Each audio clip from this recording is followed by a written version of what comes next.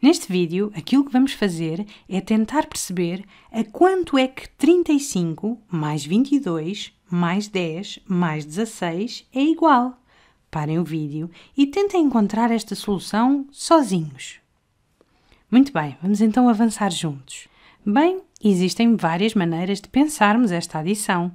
Uma das estratégias, uma das formas possíveis, poderá ser olharmos para cada um destes números e termos em consideração que algarismos aparecem em que posição.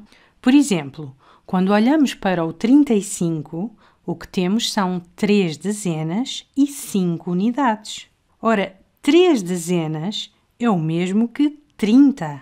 Portanto, podemos pensar no 35 como sendo 30 mais 5. E podemos fazer o mesmo com o 22. 22 corresponde a duas dezenas, o que é o mesmo que 20. É isso que este 2 aqui nos indica, mais duas unidades. Portanto, 20 mais 2. Depois temos um 10, que corresponde a uma dezena e zero unidades. Ou seja, temos apenas uma dezena que corresponde a 10. E depois temos um 16 e podemos reescrevê-lo como correspondendo a uma dezena, ou seja, 10, mais 6 unidades, mais 6. E por que é que isto nos vai ser útil? Porque agora podemos adicionar todos os números que correspondem a uma determinada quantidade de dezenas, portanto, o 30, o 20, o 10 e este outro 10. Podemos adicionar todos estes números uns com os outros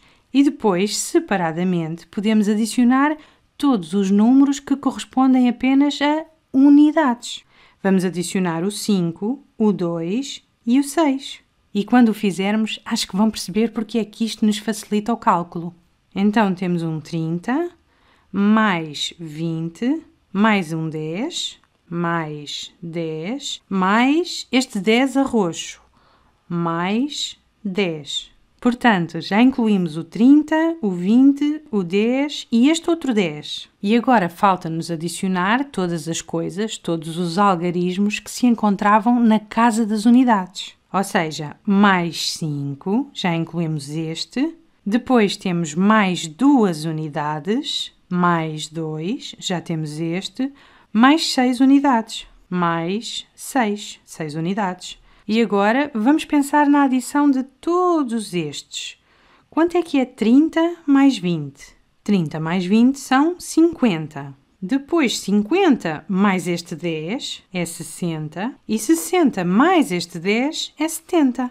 Temos 70. Ou outra forma de pensarmos nisto seria: temos três dezenas, mais duas dezenas, mais uma dezena, mais uma dezena. 3 mais 2 mais 1 mais 1, que é 7. Temos 7 dezenas e 7 dezenas corresponde a 70. E também podíamos ver isso aqui em cima. Reparem que temos 3 dezenas, mais 2 dezenas, mais uma dezena, mais uma outra dezena. E isso vai nos dar 7 dezenas, ou seja, 70. E depois vamos adicionar esta outra parte, a parte correspondente às unidades. Temos 5 mais 2, que são 7, mais 6, 13.